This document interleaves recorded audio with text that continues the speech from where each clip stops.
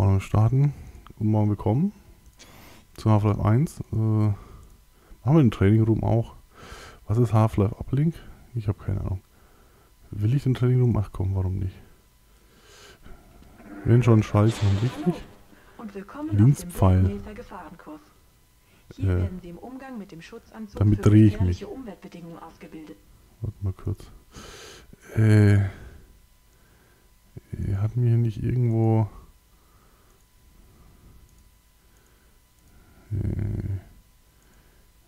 Nee.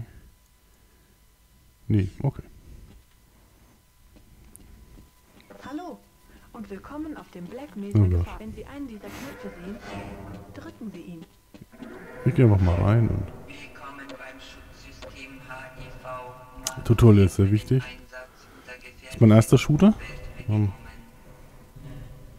Aufnahme läuft alles, passt alles. Vielleicht, was weiß ich. Wird nur scheiße werden. Die Bewegung im Schutzanzug kann am Anfang Ich laufe einfach mal weiter. Zuhören muss man nicht. Zuhören muss man ja nicht. Die erste Bewegung, So. Ich gehe einfach mal durch.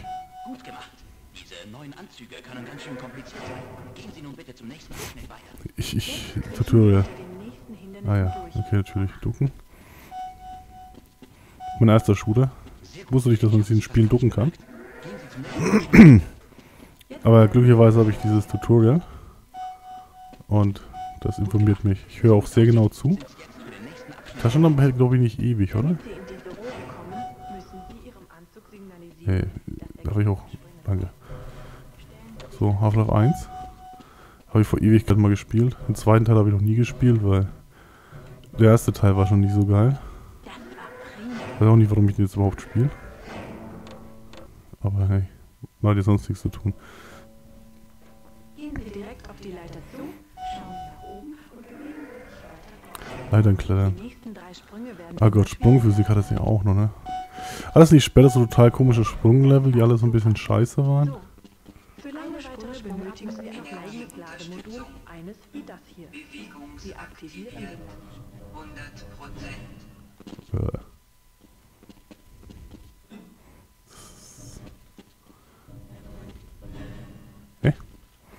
Soll ich verarschen? Soll ich nicht? Ah, jetzt habe ich nicht aufgepasst. Springen ist überwertet. Zeig mal hier, komm. Hä? Willst du mich verarschen oder was? Ich glaube, die Leertaste ist kaputt. Äh, hallo? Duckjump? Das ergibt keinen Sinn bei dieser Lehre. Duckjump ergibt doch hier gar keinen Sinn. Das ist doch kein Duckjump, das der macht.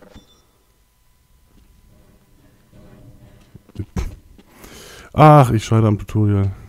Ich hätte natürlich auch zuhören können, aber dann müsste ich ja zuhören. Mir das Ding davon habe ich mitgenommen, oder? Für lange Sprünge benötigen Sie ein eigenes Lademodul, eines wie das. Duckentaste? Sie aktivieren den langen Sprung, Da Fuck, was ist das denn für ein Bild? Das war prima. Da Fuck. Brauchen wir das irgendwann mal im Spiel? Ich glaube nicht. Das ist ja völliger Unsinn. Starten Sie bitte den Lift. Ist das so ein Überbleibsel aus der Quake Engine? Nee, die Quake Engine hatte sowas, oder? Und es gibt nur einen Weg wieder nach unten. Suchen Sie das Ziel auf dem Boden solche Medikits überall. Die Quake Engine nicht äh, eine bewegende Abschnitt Arm. Und drücken die Benutzen-Taste. ähm, Ihre Gesundheit wird nach und nach Arm. wiederhergestellt. sie bewegende ursprüngliche Skybox und Half-Life 1 hatte das nicht mehr, weil sie das irgendwie rausgeworfen haben. Irgendwie sowas war doch da. Oder es nicht übernommen haben oder keine Ahnung. Was weiß ich, was die Um mit der Quake 1 Logik Engine gemacht haben. Gehen Sie zum Steuerrad und drücken die Benutzen-Taste. Äh, passt so ungefähr. Fantastisch. Was? Engine? Hatte keinen Duckjump, ne? Manchmal brauchen Sie mehr als nur Ihren Anzug, um aus einer gefährlichen Lage wieder Die hatte aber herauszukommen. die Skybox, bin ich mir ziemlich sicher. Wenn Sie ein Hindernis Gott, ist das nicht Tutorial wegstecken umständlich. Äh, ziehen etwas. Um eine Kiste das so, benutzen. Ich benutze dich, du schmutzige Kiste. Ah, warum spiele ich dieses Tutorial? Muss man überhaupt irgendwann mal im Hauptspiel Kisten verschieben? Oder ist das ein Tutorial-Ding? Hey, ich hab die Brechstange. Schmutz.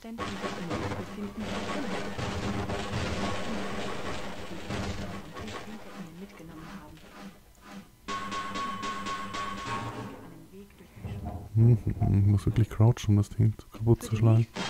Hallo. Anzugs aktivieren. Jetzt auf 15 Energie jetzt auf 30 Scheiße. Energie jetzt auf 45 Äh. Energie jetzt auf 60 Energie. Prima. Vergessen Sie Ja, ne? nicht, dass Ihre Lampe Energie Ich kann den Gang entlang laufen. Ich bin schon ziemlich gut. Gott, wie lang ist dieses Tutorial? Willkommen im Schießstand Und, Black Na, endlich. Hier lernen Sie, Was wie mach ich eine hier? Waffe abgefeuert und geladen und der darauf angebrachte. Granatwerfer benutzt wird. Oh. Bitte nehmen Sie Ihre Waffe und gehen Sie zur Schießanlage Können weiter. hier auch... Ach nee, Moment, das war später, okay. Ist nur ein Hologramm. Ich, ich kann mich selbst töten. Taucht Aber ja, ich muss mal irgendwann wegen dem Tablet gucken.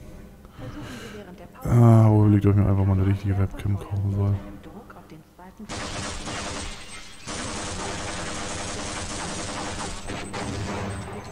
Ach so, Unbreakable. Ja, lesen ist nicht so meine Stärke.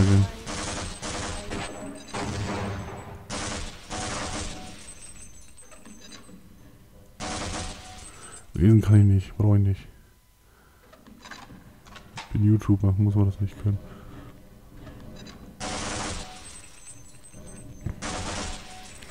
Ist das umständlich. Warum spiele ich dieses Tutorial? Warum spiele ich Tutorials überhaupt? Ach. Warum lege ich mich nicht aber ins Bett? So.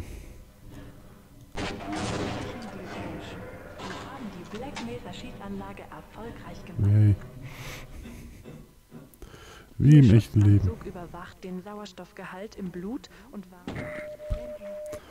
Ah, ich sterbe hier gleich noch im Tutorial. Ah, es gibt Heilung Tutorial. Anzug Die Anzeige für den Sauerstoffgehalt. Sie gerne bis zum Ende des Kurses schwimmen. Und wie geht's euch so? naja. Das hat ja noch diese ganzen 2000 Ladedinger, weil... Dies ist die Ladeeinheit für Ihren Schutzanzug. Kam das noch aus 98? Stellen Sie sich vor, Hm, hm. Schwierig alles. Lädt sich nach und nach wieder auf, bis die Ladeeinheit verbraucht ist. Ja, hallo? Wenn Sie sich durch Natürlich. Also, Gelangen Sie in die Nähe von Strahlung, werden der Geigerzähler und die Strahlungsanzeige aktiv. ja, lass mich hier raus. Auch biologische Gefahren werden durch Leuchtbalken angezeigt. Ja und? Bloß weil die Waffe streut, heißt es ja nicht, dass du nicht auf Zielscheiben damit schießen kannst. Gehen Sie nun bitte zum nächsten Abschnitt weiter.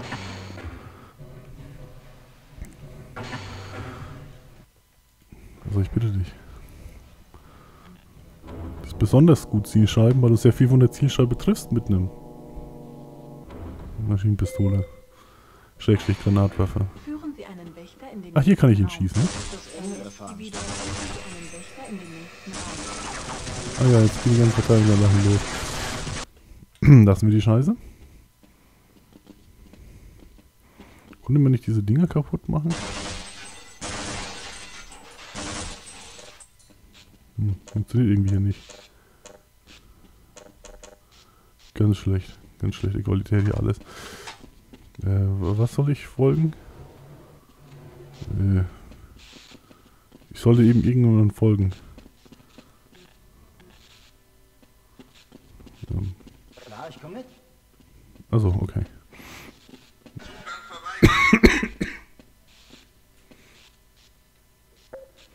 Äh, Schützen damit zu messen erscheint mir nicht so sinnvoll.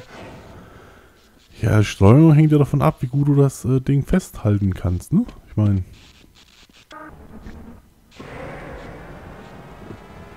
Geben wir hier mal Vollgas. So. Wir brauchen hier an den Bedienelementen zu bleiben. Sie haben den Gefahrenkurs Oh. von Black Mesa erfolgreich abgeschlossen. Sie sind jetzt berechtigt, den Schutzanzug HEV Mark IV uneingeschränkt Ja, dann sprich halt nicht zu Ende. Muss ja auch nicht sein. So, das war Half-Life 1. Schönes Spiel, bisschen kurz, aber egal. Äh ich habe noch mein Fadenkreuz. Willkommen Black Mesa Transitsystem. Dieser automatische Zug dient der Sicherheit und der Bequemlichkeit des Personals dieser Forschungsanstalt. Es ist 8.47 Uhr. Die Temperatur an der Oberfläche beträgt 31 Grad. Uff. Wir erwarten heute eine Viel zu heiß. Temperatur von bis zu 40 Grad. Boah. Im Black Mesa Komplex wird die Temperatur beständig auf angenehmen 22 Grad gehalten. Dario Casali, war das nicht auch ein Typ, der an ähm, am Plutonia-Projekt mitgearbeitet hat? Irgendeiner der Mitarbeiter Zug kommt von den Ruheräumen in Level 3 war das auf jeden Fall. und fährt zu den Testlabors und den Kontrollräumen in Sektor C. Sollte Ihr Ziel ein Hochsicherheitstrakt hinter Sektor C sein, Sie zum zentralen Transitkreuz in Trakt 9 zurückkehren und von dort aus einen Hochsicherheitszug nehmen. Falls Man merkt übrigens, dass es- noch nicht vom Retina-Sicherheitssystem überprüfen ließen, melden Sie sich bitte bei der Personalabteilung von Black Mesa. Dort werden Sie den Vorschriften entsprechend überprüft. Erst Warte mal kurz. Äh, Auto vielleicht noch ein bisschen lauter. Also ich mir das noch ein. Ich möchte übrigens anmerken, es ist definitiv keine deutsche Anlage. Hier fehlen überall die Sicherheitsgeländer. Berufsgenossenschaft sagt nein oder so. Die Ladezeiten sind angenehm kurz. Aufgrund der hochgiftigen Materialien, die im Black Mesa-Komplex verarbeitet werden, ist es innerhalb des Transitsystems nicht gestattet, zu rauchen, zu essen oder zu trinken. Ich bin mir nicht sicher, ob MP3-Volume die Sprachausgabe ist. Bitte halten Sie Ihre Arme und Beine stets innerhalb des Zuges. Versuchen Sie nicht, die Türen des Zuges zu öffnen, bevor dieser an einer Haltestelle zum völligen Stillstand gekommen ist. Ist gar kein Glas drin, eintreten, werden die Passagiere gebeten, sitzen zu bleiben und auf weitere Anweisungen zu warten. Falls ein Verlassen des Zuges unumgänglich sein sollte, bitte verletzte Personen zuerst evakuieren. Bitte halten Sie Abstand zu den Schienen, da diese unter Strom stehen. Begeben Sie sich zu einer Notfallstation, bis Hilfe eintrifft. Dann setzen wir uns halt hin. Behindern wir erstmal die Behinderten. Immer die richtige Entscheidung.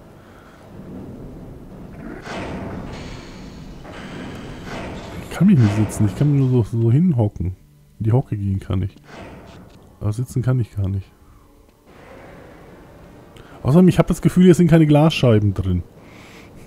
So, so sauber wird Glas nicht. Wir erscheinen, als Deutscher erscheint mir diese Anlage nicht sicher.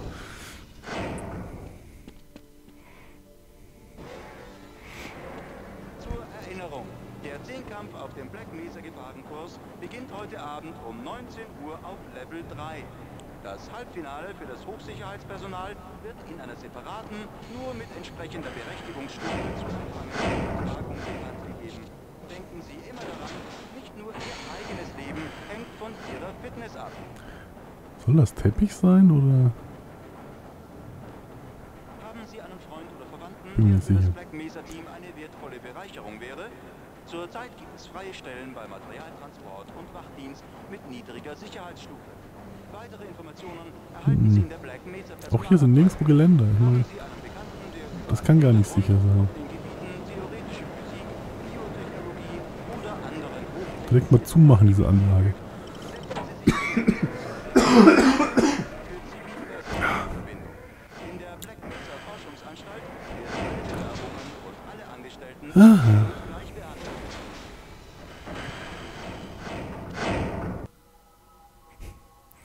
Oh, du hast so alten Rechner von 98 oder noch älter. So richtig an lange Ladezeiten. Ah. Damit Ihr Arbeitsverhältnis im Forschungsinstitut bestehen bleiben kann, müssen Sie sich regelmäßigen Untersuchungen hinsichtlich Verseuchung durch Strahlung und Giftstoffe unterziehen. Sollten Sie einen anberaumten Termin für Urinanalyse oder Strahlungsmessung versäumen, ist dies ein Grund für fristlose Kündigung. Hm, irgendein komischer Typ, der bestimmt keine Bedeutung hat.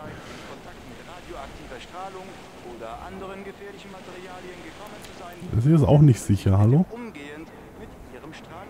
Hier arbeiten auch nur Amateure in dieser Anlage, oder? Deswegen arbeite ich da, jetzt verstehe ich. Das ergibt Sinn. Hier arbeiten nur Pusher, deswegen arbeite ich hier, das ergibt so Sinn. So, darf ich jetzt mal aussteigen? Bitte treten Sie von den automatischen Türen zurück. Nein. Und warten Sie, bis der Sicherheitsbeamte Nein.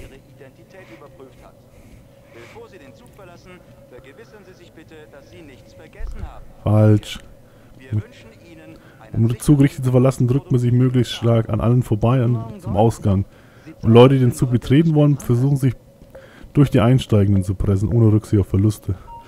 Wer stirbt beim Ein- oder Aussteigen, selbst schuld. Zugfahren ist nichts für Schwache.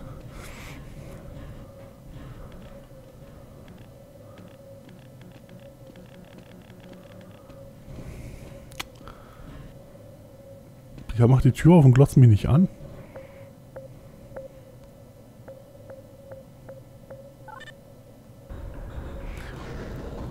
Kam das? Ja, okay.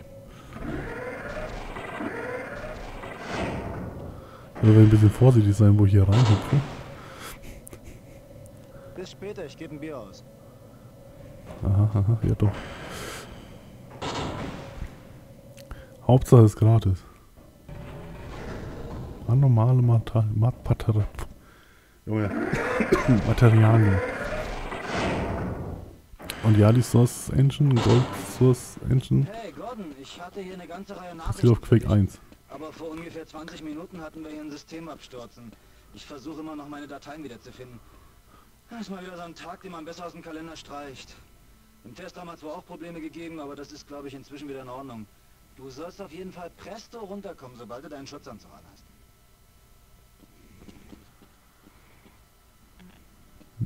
Mein Gott, was tun Sie Hey, da? hör auf damit! Was ist los, Gordon? Willst du mich in Schwierigkeiten bringen? Ja, schon. Typ, den ich nicht kenne.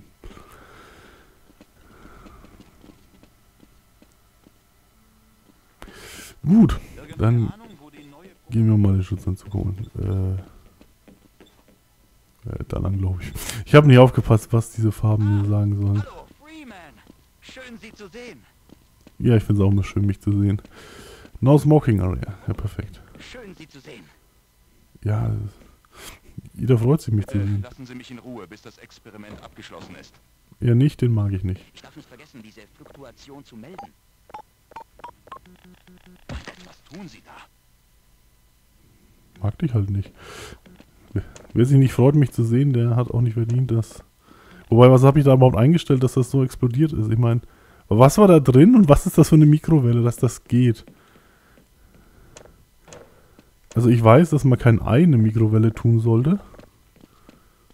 Das ist keine gute Idee. Aber das sah nicht aus wie Ei.